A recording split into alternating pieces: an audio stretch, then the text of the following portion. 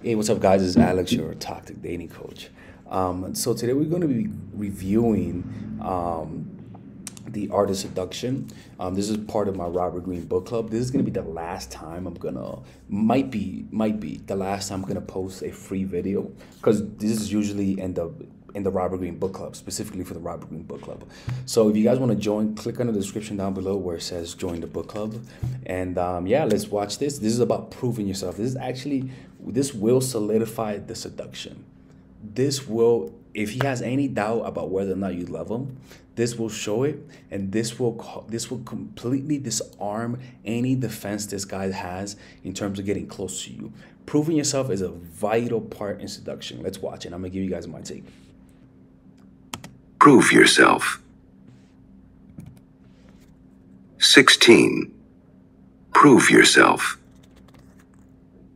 Anyone can talk big, say lofty things about their feelings, insist on how much they care for us, and also for all oppressed peoples in the far reaches of the planet. I don't pay attention to anything that anybody tells me in terms of how much they care for me. I've gotten to the point where I just look at actions. Words don't ma- matter much to me. What matters more is to me your tone of voice, how you're talking compared to what you're really saying, and what you really do. That's what matters for me and also for all oppressed peoples in the far reaches of the planet. But if they never behave in a way that will back up their words, we begin to doubt their sincerity. Perhaps we're dealing with a charlatan or a hypocrite or a coward. Flattery and fine words can only go so far. A time will eventually arrive when you will have to show your victim some evidence to match your words with deeds. Because it's it's almost like if you if somebody says they have your back, but then when you need their help, maybe you need some money to help you out. Maybe they say we I believe in you as a person, and they have money, and then you ask for money, but then when you ask for money, they don't do it. It kind of shows you what they really feel about you, or a guy who tells you he likes you, but then disappears on you three days in a row, doesn't text you, and then he comes back and says I miss you his actions say more. Focus more on what people do than on what people say because it says everything about them. This kind of remember patterns speak the truth, like Derek Jackson says. So far, a time will eventually arrive when you will have to show your victim some evidence to match your words with deeds. This kind of evidence has two functions. First, it allays any lingering doubts about you. Second, an action that reveals some positive quality in you is immensely seductive in and of itself. It, it, it, and the reason why is because, one, everybody is doubting whether or not the person who they're talking to really likes them to a certain degree. And because of that thought, they don't let, they don't let go emotionally. They don't open up right? When you're at this stage of the seduction, you already had to go through a few an up and a down. In other words, things were well, things were well. You pulled away. He's fear. He's afraid of losing you. He's afraid of losing you because you're pulling away, right? And then you prove yourself, and that will tighten the bond. Brave or selfless deeds create a powerful and positive emotional reaction. Don't worry. Your deeds don't have to be so brave and selfless that you lose everything in the process. The you can make it up. It could be that they need your help. They need you to pick up. They need to pick you up. Like let's just say you, you're doing a favor for them. Make it look like it was harder than it really was. You know, make it look like you struggled to really do it. Make it look like you worked harder than you really did, even though it was easy. Why? Because it says first of all, it flatters them, it flatters their ego and says, wow, he did that for me. But also, it shows them that you're willing to sacrifice yourself for them. And when it comes to somebody who is at the border of falling in love with you and you do this, they will fall for you. Appearance alone of nobility will often suffice. In fact, in a world where people overanalyze and talk too much, any kind of action has a bracing, seductive effect. It is normal in the course of a seduction to encounter resistance. The more obstacles you overcome, of course, the greater the pleasure that awaits you. Why? Because when you when you struggle for something, it produces cortisol, which will put which will which, which will also give you more energy through the through dopamine to get what you want. When you struggle to get something, it, when you want once you get it, it releases more dopamine because you you actually you were thinking about it. You know, it was a fantasy in your head, and once you, and, and the more you, and the more prolonged it is, the more satisfactory it is. That's why there's a difference between meeting people on Tinder than meeting people in real life. You get down to the business on Tinder quicker than when you meet them at your job or school because they slow it down more because they don't want you to think women slow it down more because they don't want to be seen as too desperate. You know what I'm saying? Which is good. But also, what it does is that it makes it even more pleasurable. I can say it with me when I meet a woman on Tinder versus when I meet a woman in real life. It's more satisfaction when I meet the woman in real life because it feels like I worked for it more. You know what I'm saying? It is normal in the course of a seduction to encounter resistance. The more obstacles you overcome, of course, the greater the pleasure that awaits you. But many a seduction fails because the seducer does not correctly read the resistances of the target. More mm, Okay, let's see what he has to say. often than not, you give up too easily. First, understand a primary law of seduction. Resistance is a sign that the other person's emotions are engaged in the process. The only person you can't seduce is somebody distant and cold. Resistance is emotional and can be transformed into its opposite, much as in jujitsu, the physical resistance of an opponent can be used to make him fall. If people resist you because they don't trust you, an apparently selfless deed showing how far you are willing to go to prove yourself is a powerful remedy. Yeah, it's almost like if a woman thinks I'm a player, right? It could mean that I prove myself by me saying, if you ever need some help, I'm there for you. And she says, hey, can you pick me up in the hospital or can you pick up my kid, whatever? You do it instantly, knowing that if you do that, you've proven you to her that you actually kept your words, right? Um, it could be like any moment of crisis. You gotta be ready for any moment of crisis because that's your time to shine. When there's a moment of crisis, I remember one time this happened to me when I thought I had cancer. like last year, last year I thought I had everything, man. Like I, missed on all of them, but I thought I had everything, right? Anyways, I went to the doctor. I was like, "Yo, man, I can't believe this. I thought I had cancer. I'm not gonna lie. Like I was, um, I was pretty fucking wrecked. Um, I was like, this is bullshit. This is some bullshit. Fuck mindful attraction. Fuck Robert Greene, man. It's some bullshit, man. This is real shit. No, I'm off die. Like I, I really thought that. Anyways, so this girl that I was seeing, she actually came over and brought me food and chilled me for the day. Mind you, I don't give, I still didn't give a fuck about her. But, but when she did that, I ended up liking her more. That's a fact. Like at least something warm in my heart got sparked. Like I was like, wow, like I can't believe this girl is here is here for me when I really need some support, right? And in those moments, when if you find yourself in those moments, you gotta take advantage of it as soon as possible. So when you're texting the girl, or even when you're saying talking to a guy, tell him that, or even talking to a girl. To be honest with you, tell him that if you ever need any help, let me know. And just when the opportunity strikes, because it may or may not, but well, it will eventually. When it strikes, you gotta be there and perform like you never performed before right? Because it's in that moment when they it, when it solidifies. It's in that moment when they begin to really, really love you. If they resist because they are virtuous or because they are loyal to someone else, all the better. Virtue and repressed desire are easily overcome by action. As the great seductress Natalie Barney once wrote, most virtue is a demand for greater seduction. There are two ways to prove yourself.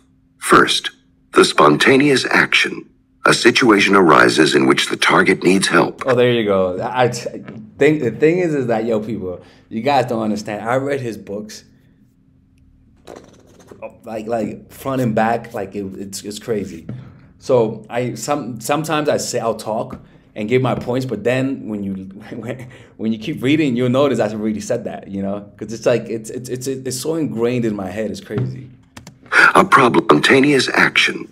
A situation arises in which the target needs help, a problem needs solving, or simply he or she needs a favor. You can't foresee these situations, but you must be ready for them, for they can spring up at any time. And if you fail at it, they, they'll get disappointed. You can't go back up if you fail.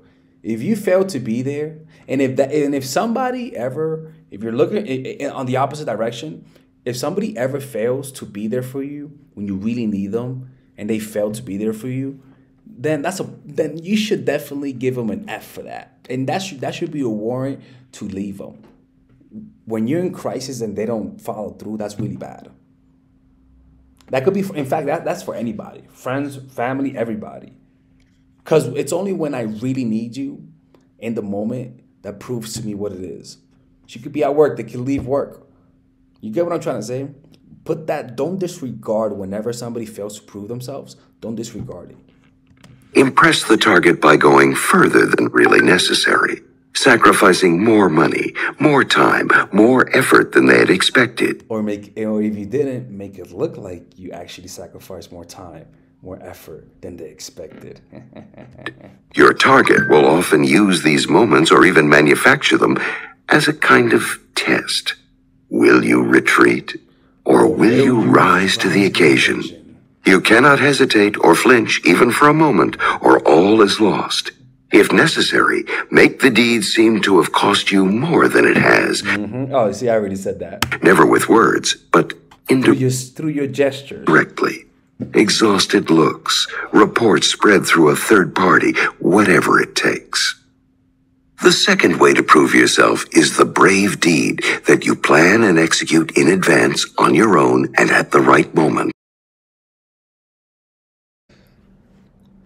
Okay, so if you're if you consider yourself a nice guy, if you're the type of person that always tries to always gets played by women. Is considered like a mama's boy or you like assertiveness or you've been bullied when you were a little kid. And so you develop some nice guys tendencies. Then i will check i will highly recommend you check out my new course nice guy. It's specifically made for just nice people in general. I'm a nice guy. I was a nice guy. I was a bible teacher for god's sake. I was a bible teacher. It doesn't get any more nicer than that okay? So in this course i will teach you about the art of assertiveness and if you fix, if you just learn to become more assertive in a healthy and non-toxic way, what will happen is that men will respect you and women will bang you for the most part, okay? As long as women respect you and see you as a man, that's all that matters. So this course is more about how to embrace your masculine side.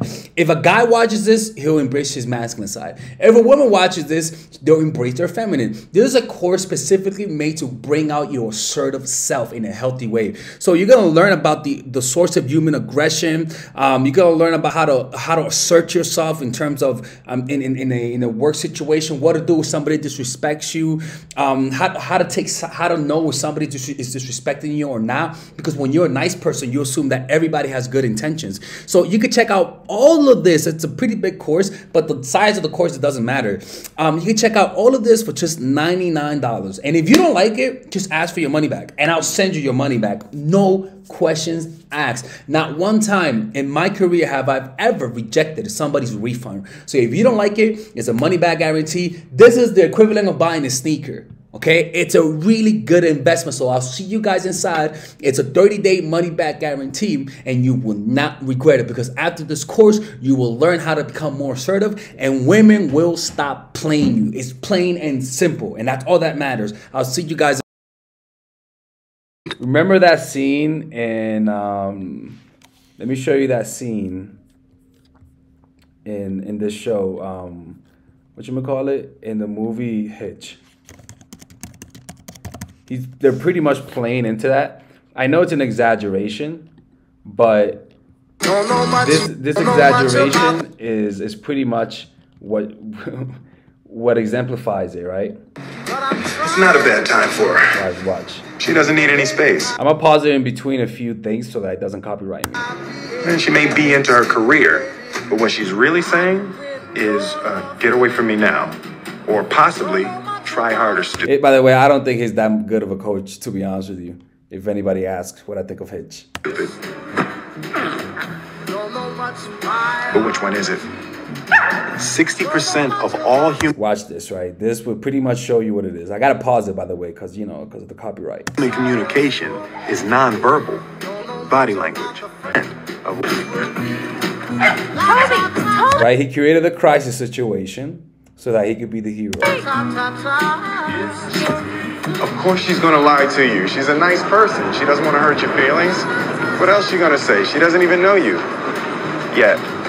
right? And look, so it was orchestrated, and then he gets on the ground for the theatrics. He could have just been standing there, right? He could have just stood there and gotten it, but no, he had to get on the ground. He had to fucking start acting, co- convulsing and shit. Look, Luckily, the fact is that just like the rest of tells us, him to stop politely. Look at that. What a gentleman. even a beautiful woman doesn't oh, know Oh, oh you like, she wants until she sees it. And that's where I that, that's Union Square where I use, where I go often. come in. My job is to open her eyes. Toby! Oh my god! and, and the funny thing is, the taxi did the beep. I bet he told him to beep.